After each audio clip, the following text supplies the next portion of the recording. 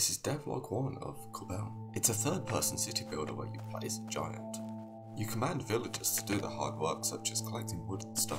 You need to defend them from hordes of pillaging gnomes. You craft building elements to build new buildings. Gnome attacks come often and are made up of hundreds of enemies. You need to defend your villagers from these gnomes, with weapons, towers, and maybe someday magic. This week I've been adding tree destruction animations.